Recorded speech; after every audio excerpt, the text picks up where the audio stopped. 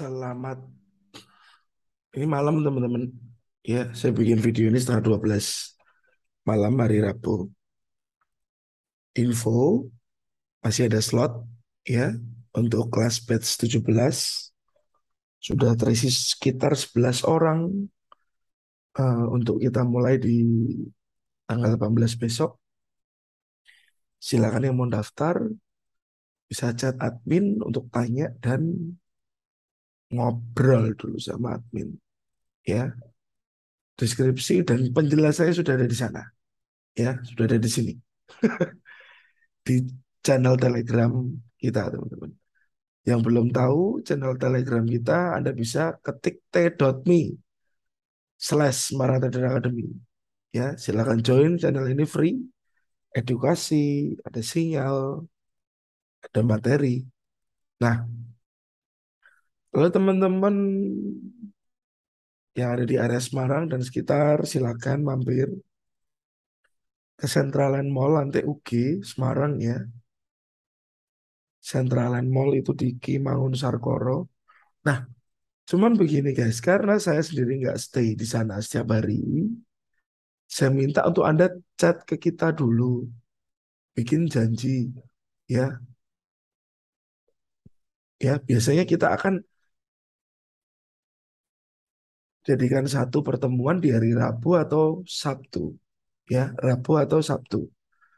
Jadi teman-teman jangan langsung datang, takutnya kita nggak di sana. Atau kantor masih close.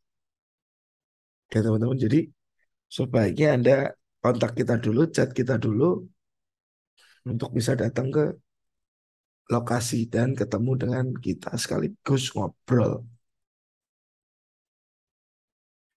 Banyak plan ya, yang minggu ini kurang saknil. USD Kanada ini kurang saknil aja. Langsung terbang. Lalu ini ini pound sterling ya. Before ini after ya teman-teman. Longsor. Ini before-nya. Ya harapannya kita akan sell di atas. Ternyata sudah turun duluan. Tidak masalah. Nggak rezeki kita. Santai aja.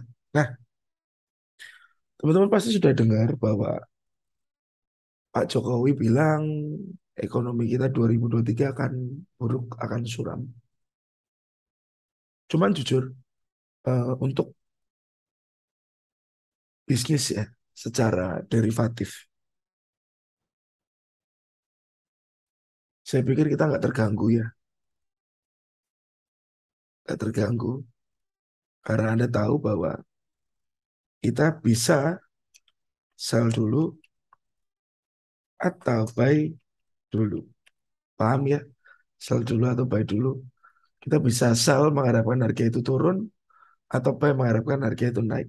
Tinggal bagaimana metode yang kita gunakan dan risk manajemennya seberapa. Ya teman-teman.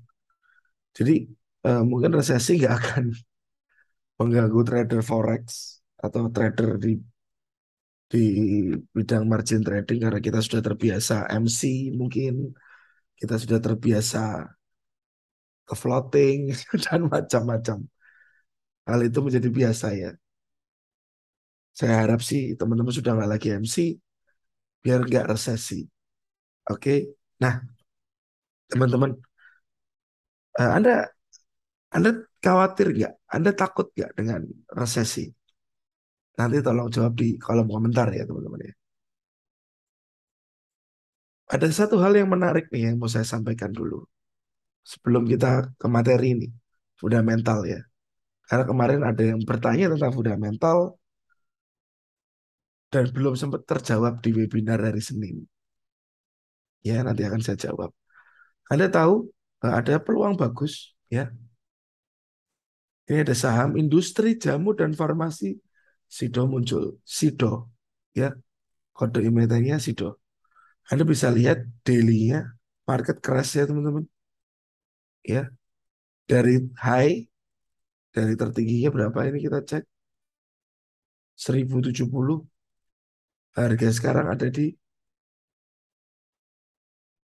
660 ini bukan derivatif ini saham kita beli fisik ya kalau saya lihat angka Fibonacci ya, 50% dan 61% di area demand. Ini ada area demand nih. Ya teman-teman. Di berapa area demandnya kita coba cek lagi.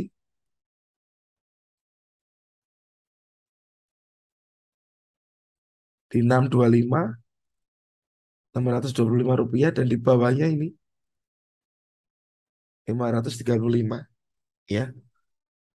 Sempat ada resisten sebelah kiri jauh tahun 2014 di 475. Anda bisa tunggu beberapa level yang Anda pantau. Tadi demand satu, ini kok saya bilang demand satu, ini demand kedua, ya, atau ini di SR flipnya, Anda bisa pantau nanti. Sudah muncul juga uh, eksis ya teman-teman dari 2014. Peluang atau ke awal kehancuran ini. hmm, ya itu tadi teman-teman harus tahu kalau Anda trading saham kan Anda mulai dengan buy. Saat harga longsor begini Anda sudah buy di atas ya cuma bisa cut loss atau tunggu. Kalau forex kelihatan ada penurunan, sinyal penurunan, ya, sinyal penurunan sudah nampak ya teman-teman. Dari sini, low di break, low, lower low, ya. Anda tahu area apa ini? Ya teman-teman. Ini supply ya Quasimodo level high, low, high right, lower low, pullback dulu baru dia longsor. Jadi untuk Anda yang belum percaya bahwa S&D price action bisa digunakan dalam trading apa pun, lihat ini teman-teman. Ya, pola ini pun ada di saham. Quasimodo.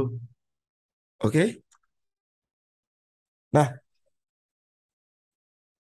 jadi apakah Sido muncul ini mengawali karena dia turun dari bulan Juli sampai sekarang masih turun ya. Awal apakah Sido muncul dulu baru nanti lainnya kita nggak ngerti. Cuman ini bisa Anda anggap peluang atau apa pun silakan lah. Ini hanya saya cerita aja bahwa price action juga kita bisa pakai untuk saham. Nah, kembali lagi teman-teman ke apa? Resesi ya. Kita akan bahas fundamental dari sudut pandang STA. Sebenarnya begitu, teman. Saat ada fundamental besar, memang saya cenderung menghindari. Ya, saya cenderung menghindari. Ada kalanya orang bilang fundamental itu merangsang. Fundamental merangsang price pergi ke zone supply atau demand. Ya.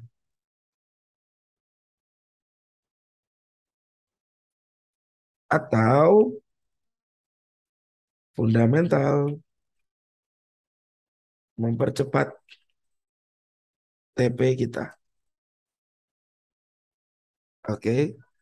Nah, boleh juga Anda berpikir seperti itu, teman-teman. Cuman untuk news akhir-akhir ini, untuk news akhir-akhir ini, mungkin sebaiknya teman-teman jangan trade on news. Karena jujur ini secara makro ekonomi lagi kacau ya. Jadi mungkin fundamental Anda hindari dulu. Anda hindari dulu. Karena ekonomi juga lagi nggak bagus keadaannya. Jadi fundamental Anda bisa hindari dulu. Memang bisnis kita forex tidak kenal resesi. Kita bisa baik, bisa sell di tempat-tempat yang kita kehendaki atau tempat-tempat yang kita tuju ya teman-teman ya. Tapi Anda harus punya hitungan, harus punya money management. Kalau enggak ya sama aja. Anda malah Cepat MC, cepat habis duitnya, tetap cepat habis dananya. Sama kayak beli saham nyangkut sama aja. Ya. Jadi untuk sekarang ini saya harap Anda hindari dulu fundamentalnya. Karena fundamentalnya lagi terlalu besar efek dari semuanya. Ya teman-teman, terlalu besar efek dari semuanya. Dan saya harap saat Anda trade, tolong agak irit ke resiko. Ya, agak irit ke resiko. Dan jangan sering-sering trade. Sabar dulu aja. Lebih tunggu konfirmasi lebih baik. Ya teman-teman. Sabar dulu saja. Menghadapi kondisi sekarang. Nah, saya akan coba lihatkan teman-teman. Uh, besok tanggal 13 ya. Tanggal 13. Ya.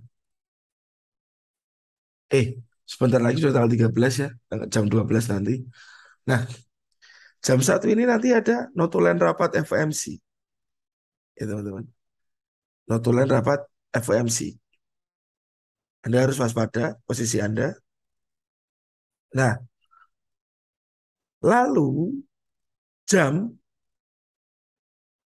setengah delapan malam ini ada data inflasi teman-teman. Ada data tingkat inflasi dari US. Anda tahu ya, resesi yang terjadi karena yang terjadi sekarang ini penyebabnya apa? Ini inflasi. Jadi fundamental besok malam itu setengah delapan akan sangat mempengaruhi keputusan The Fed. If memang inflasinya naik lagi, ya teman-teman, if inflasinya naik lagi, mungkin The Fed masih akan menaikkan suku bunganya lagi. The Fed masih akan menaikkan suku bunganya lagi. Jadi harap berhati-hati besok. The Fed akan menaikkan suku bunganya lagi. Ya. Jadi setelah ini mungkin ada rapat The Fed lagi. Kapan ya? Saya lupa jadwalnya. Itu akan sangat berpengaruh kepada hasil suku bunga. Bisa saja jika inflasinya naik, suku bunga dinaikkan lagi. Dan Anda tahu bisa terjadi lagi strong US. Ya, strong US. Karena Anda lihat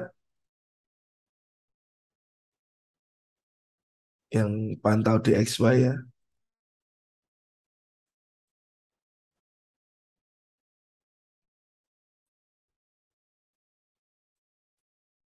Ya. Ini market cukup kuat naiknya. Dan memang sekarang memang sedang membentur area supply, teman-teman. Sedang membentur area supply. Sudah terkoreksi ke demand juga. Nah, harga sedang bounce di tengah-tengahnya antara supply atau demand. Ya. Masih ada di tengah-tengahnya.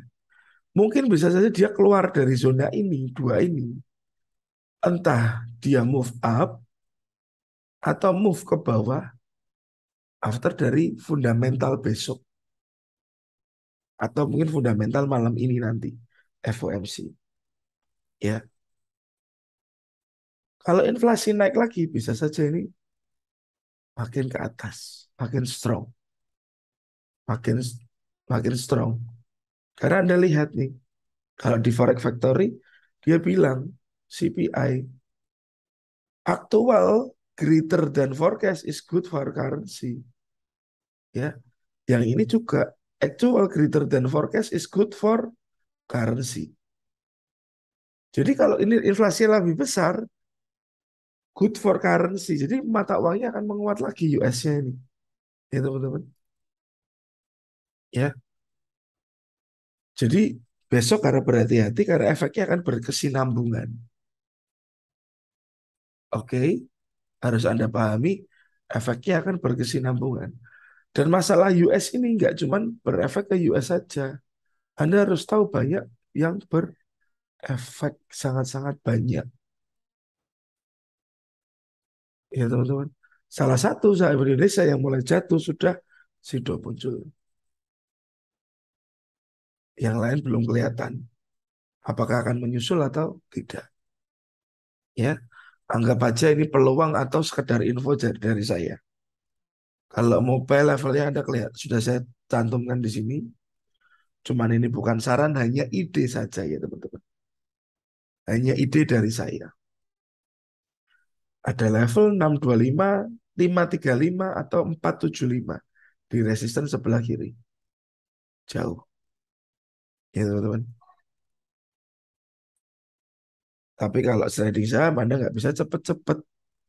Ya. Oke. Jadi pertanyaannya, bagaimana STM melihat news? Sebaiknya saya hindari. Saya nggak mau trading di news yang besar-besar. Sangat beresiko. Harapannya sih memang iya, harga akan jemput demand atau supply. Ya kalau hanya jemput doang, kalau nembus. Kalau dia berbalik arah, mendingan keep safe aja deh. Kita pelan-pelan aja. Jadi di video ini yang akan saya bahas apa? Yang bahas ya sudah di depan tadi ya. Bahwa Forex tidak kenal dengan namanya resesi. Kita bisa buy dan sell. Tapi Anda harus tahu metodenya. Harus tahu money managementnya. Dan resesi ini di diawali oleh apa? Oleh inflasi. Besok ada data inflasi lagi. Anda harus aware sama data itu karena akan berkesinambungan ke suku bunga The Fed juga. Ya. Jadi pengaruh fundamentalnya bagaimana kita nggak tanggepin ya intinya fundamental kita hindari dan saat ini terjadi peristiwa yang cukup besar juga. Jadi cukup cukup Anda harus lebih ekstra hati-hati. Ya teman-teman, ada salah satu contoh saham yang sudah mulai rontok. Ya ngerti ini faktor apa? Bisa saja faktor dari resesi ini. Ya, oke, okay, keep safe your trading. Jaga benar-benar modal Anda. Memang tanpa adanya risiko tidak akan ada gain. Tapi risikokanlah yang baik. Risikokanlah yang benar. Ya, sampai jumpa di video berikutnya. Semoga saran dan masukan ini bisa bermanfaat untuk teman-teman. Thank you.